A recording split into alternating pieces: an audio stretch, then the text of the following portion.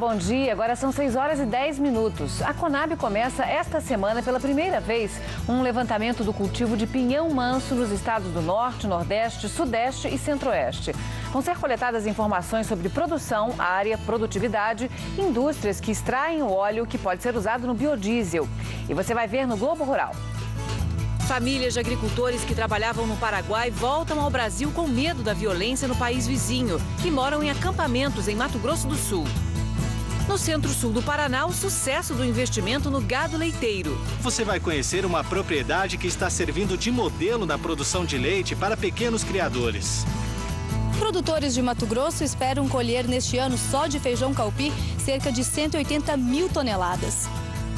Na região norte do Piauí, um festival de gastronomia mostra o potencial do estado na criação de ovinos e caprinos.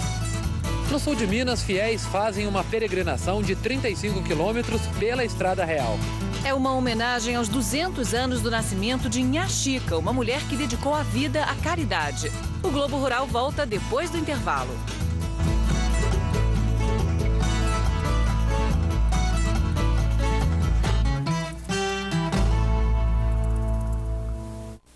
O Hyundai HR tem tudo o que você precisa. Várias opções de carroceria, a maior capacidade de carga, motor super potente e o menor custo. O único no mundo com 4 anos de garantia sem limite de quilometragem. Porque caminhão tem que dar lucro, não despesa. Hyundai HR, fabricado pela Hyundai, a melhor do mundo.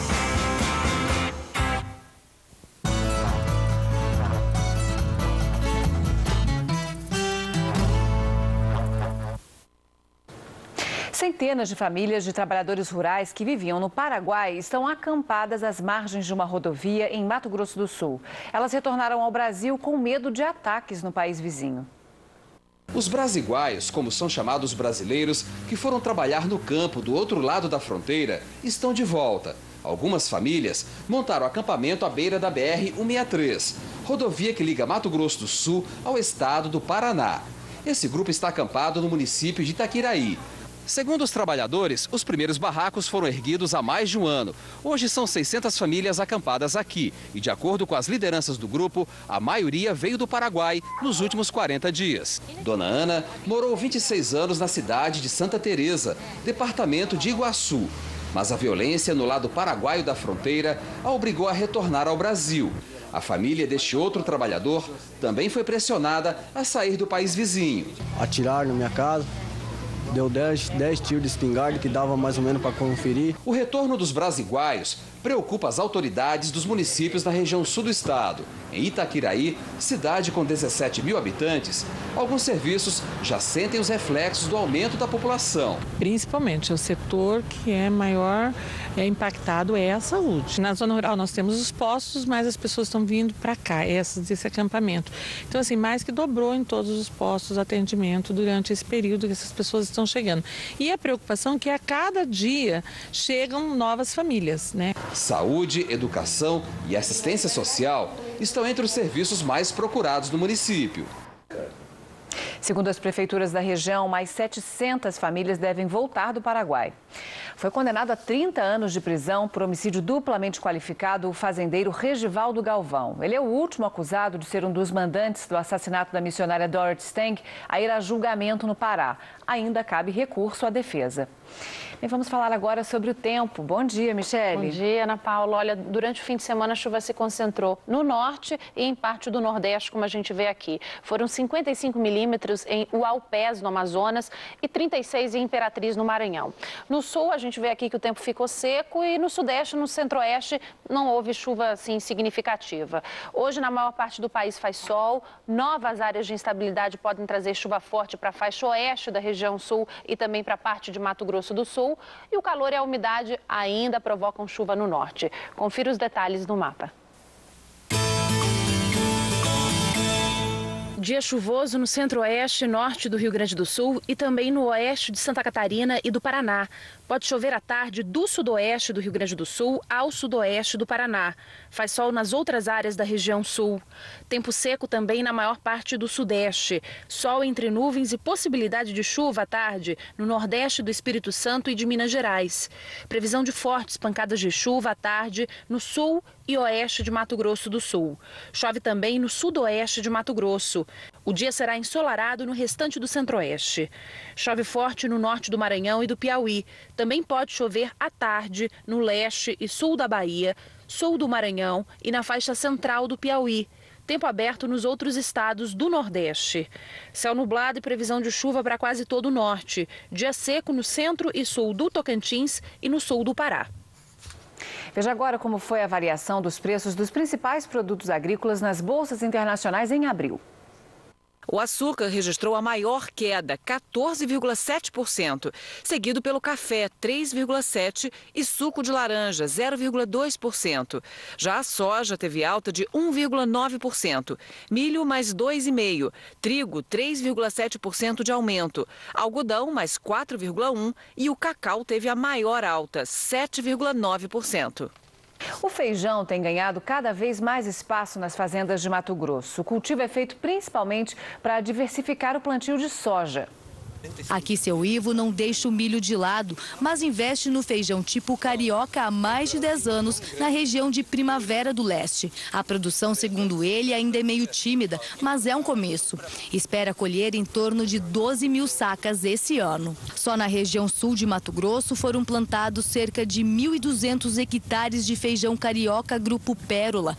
O custo chega a R$ 1.200 por hectare. Ano retrasado, os preços foram muito bons. Ano passado foi plantado muito feijão, as colheitas foram boas, a produtividade foi boa, onde é que caiu bastante o preço. E pelo fato do preço estar tá em baixa no né, final do ano, então nesse começo de ano poucos plantaram. Então a expectativa nossa é que seja bom. O feijão calpi ocupa hoje nesta região cerca de 55 mil hectares. Nesta outra área, o feijão está presente desde 2007 e sempre apresenta bons números são 4.600 hectares plantados. O engenheiro responsável diz que, em média, um hectare do calpi custa de 500 a 700 reais. Ele se torna interessante porque é uma cultura pós-safra principal, ou seja, a soja. O calpi também é conhecido como feijão de corda. Em Mato Grosso, chegou há pouco mais de três anos. O ano passado já chegou mais de 750 mil sacos exportados para outros países. Só de feijão calpi são mais de 150 mil hectares plantados em Mato Grosso. A expectativa dos produtores nesse ano é de que o estado produza 2 milhões e 200 mil sacas do grão. A Embrapa, empresa brasileira de pesquisa agropecuária, resolveu investir em testes. Um deles está sendo realizado nesta fazenda com o BRS Maratauã. O que a Embrapa quer com isso? Ela quer melhorar a qualidade de grão, ela quer aumentar a produtividade e trazer variedades novas com mais produtividade. A Índia é o país que mais compra o feijão calpi de Mato Grosso. O município de Campo Maior, no Piauí, é referência na produção de carne de ovinos e caprinos. E um festival de negócios e gastronomia deixou muita gente com água na boca. Campo Maior fica a 80 quilômetros de Teresina. O município é famoso pela produção da carne de sol e a criação de ovinos e caprinos. São aproximadamente 50 mil animais em 90 propriedades. Roberto Pessoa é criador de caprinos da raça anglo-nubiana. A vegetação nativa facilita a criação dos animais na região. Nós temos aqui o mameleiro, nós temos aqui o jucá, nós temos aqui a unha de gato, o sabiá. Isso ajuda muito o criador. Para mostrar o potencial econômico, o município promoveu o segundo Sabor Maior, um festival que misturou gastronomia e negócios. Durante o dia, uma feira movimentou os criadores. Eram cerca de 700 animais prontos para comercialização. Os pequenos criadores aproveitaram a oportunidade para comprar animais de raça e melhorar o rebanho. Numa feira, você tem a possibilidade de ter no mesmo ambiente diferentes criatórios, onde você pode estar procurando a melhor oportunidade, aquele animal que vai caber na sua fazenda, no seu projeto, para a produção, seja de carne ou a produção de leite. No período da noite, mais ovino e caprino, só que agora cozido. O restaurante armado no meio da praça oferecia mais de 15 pratos. Comida para todos os gostos. É uma coisa assim totalmente diferente do que eu já, já vi em outros lugares, né? Nunca vi nada igual. Nota 10 nos pratos, estão tudo excelente. Essa foi a segunda edição do festival. A seguir, a produção de rosas ganha espaço e gera empregos no Ceará. E agricultores do Paraná investem no gado leiteiro e conseguem uma renda familiar maior.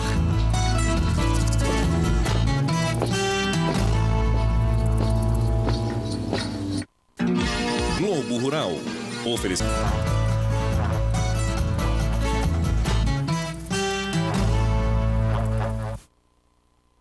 Devotos de Inhaxica fizeram uma peregrinação entre São Lourenço e Baipendi, no sul de Minas Gerais, para homenagear os 200 anos do nascimento da religiosa. Francisca de Paula de Jesus dedicou a vida à caridade e os moradores da região atribuem a ela a cura de doenças.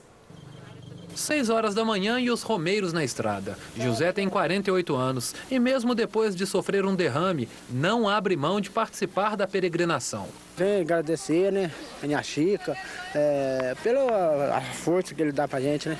O frio incomoda alguns. Tem que estar tá bem agasalhado, senão não dá. Mas é ignorado por outros. A gente anda 6 km por hora aí, rapidinho já sente calor. A parada neste vilarejo é o momento de descansar um pouco e rezar. Uma prece para nos abençoar na caminhada, né, também, né, para que a gente tudo, todos os peregrinos possam caminhar dentro da sua normalidade, né. O trajeto entre São Lourenço e Baipendi pela Estrada Real tem cerca de 35 quilômetros. O cansaço é inevitável, mas os participantes são recompensados com belas paisagens. Essas paisagens são maravilhosas, a gente para, olha, admira, respira o ar puro, mas o que nos impulsiona mesmo é a fé em Jesus Cristo. Em troca, os participantes procuram preservar o meio ambiente. Reginaldo recolhe o lixo que encontra pelo caminho. Depois de mais de sete horas, a chegada ao santuário de Inhaxica, religiosa venerada no sul de Minas. Hora de dar uma folga para os pés. Tirar o tênis e relaxar e descansar e assistir a missa e voltar para casa com a bênção e a graça de Inhaxica. O pedido de beatificação de Inhaxica foi feito ao Vaticano em 2004 e ainda aguarda resposta. O cultivo de rosas ganha cada vez mais espaço na região de Serra do Norte do Ceará. As fazendas aumentaram a produção para dar conta dos pedidos. Um campo com muitas cores. As rosas já ocupam 12 hectares e meio desta empresa, que fica em São Benedito, na Serra da Ibiapaba, região norte do Ceará. O crescimento foi tanto que as estufas passaram de 7 para 12 este ano e até julho devem chegar a 20. Hoje a produção é de 600 mil hastes por mês, botões de vários formatos e tamanhos. Por enquanto, o esforço é para atender os pedidos do mês de maio. Do corte, a classificação e embalagem, o quadro de funcionários passou de 130 para 150 trabalhadores. Eu estava desempregada e para mim só veio a calhar, né? O proprietário está satisfeito com as encomendas que triplicaram neste período principalmente do Pará, Pernambuco e Brasília, e explica: maio é referência para os produtores de rosas. Esse é o melhor mês uh, para a floricultura, né? Porque além de ter a data do Dia das Mães, que é uma data quando se vende muitas flores, nós também temos o mês de maio em si, só que ele já com casamentos, com festas e tal. Então é o melhor mês do ano. Esse é o mês que a gente se prepara sempre para poder eh, daí fazer realmente um grande ano. E vamos ver agora a previsão do tempo para os próximos dias. Michele. Na Paula, olha só, amanhã essas áreas de instabilidade aqui, olha, vão provocar pancadas de chuva na faixa leste da região sul. Deve chover também em parte do centro-oeste, do norte e no leste da região nordeste. Um tempo seco ainda na região sudeste. Vamos ver agora a previsão até sábado. O acumulado passa dos 110 milímetros no noroeste do Amazonas, no Pará, na faixa leste do Amapá e no litoral do Maranhão. No recôncavo baiano, o volume fica na casa dos 100 milímetros. O índice chega aos 50 no Rio Grande do Sul e em parte de Santa Catarina, e aos 30 no Paraná, em Mato Grosso e em grande parte de Mato Grosso do Sul. No centro-leste e sul de São Paulo, o volume fica em torno dos 20 milímetros. Não há previsão de chuva para as áreas claras do mapa. O CPEA, o Centro de Estudos Avançados da USP, divulgou os preços recebidos pelos produtores de leite tipo C em abril. A média nacional ficou em 76 centavos por litro, aumento de 13,4% em relação a março. Veja agora os valores em alguns estados. Minas Gerais, 78 centavos. Goiás, 76. São Paulo, 75. Paraná e Santa Catarina, 74. E no Rio Grande do Sul, 72 centavos. E os produtores de Ipiranga, na região centro-sul do Paraná, que antes só cultivavam o fumo, agora descobriram na pecuária de leite uma atividade rentável. Enquanto o sol se levanta no horizonte, seu José vai terminando de ordenhar as vacas no estábulo. Faz um ano que ele se dedica à produção de leite e já virou referência para outros pequenos produtores. Seu José, quantas vacas o senhor tem aqui? Tem 11 no total. 11? É. Começou com quantas? Comecei com duas só. Duas vacas duas. só? Uhum. Olha, a produção que eu comecei era base de 5, 6 litros por ordenha. Aí comecei na mão, manual. Uhum. E hoje? Hoje, hoje eu já estou bem mais adiantado. Hoje eu estou tirando 30, 30 e poucos por ordenha. Isso né? porque a gente está na época de inverno. Na época né? de inverno, na época de seco, não tem um pasto, né? No verão foi, chegou a quanto? No verão eu cheguei a 90 litros. 90 litros? Por dia. A área de 2 hectares semeada com aveia vai servir de pastagem. É comida para o gado até o fim do ano. Agora, essa não era a experiência do senhor antes, né? O senhor lidava com fumo. O serviço era bastante, né? E tinha época que passava mal o fumo, né? Daí você trocava só o serviço. A transformação na propriedade ele não fez sozinho. Recebe assistência de técnicos da prefeitura que visitam o sítio com frequência. Olha, ele está tendo um resultado muito positivo. Hoje ele tem algumas vacas com genética para a produção leiteira. No início ele não tinha. Realizamos um descarte de algumas vacas que não tinham, não tinham aptidão para leite, né? E hoje o plantel dele já dá para dizer que está no nível bom. A empolgação do seu José está chegando a outras propriedades. Seu Mar e Dona Olinda cresceram trabalhando no fumo, mas andam cansados da atividade. E nós vimos, nós vimos trabalhar mais, mais pouco, nós podemos ter a mesma renda, trabalhar mais pouco, né? Quem cuida das vacas é a filha do casal. Ela participa de cursos e treinamentos e não vê a hora do rebanho crescer. Nós já estamos planejando isso e vamos ver se colocamos em prática. Né? O, ca o caminho é o leite? É o leite. Vocês estão é apostando um... sério nisso? Estamos agora fazendo curso e achando recursos é. mais, mas vamos investir no leite, que é uma coisa que dá bem. O Globo Rural termina aqui. Um bom dia para você e até amanhã.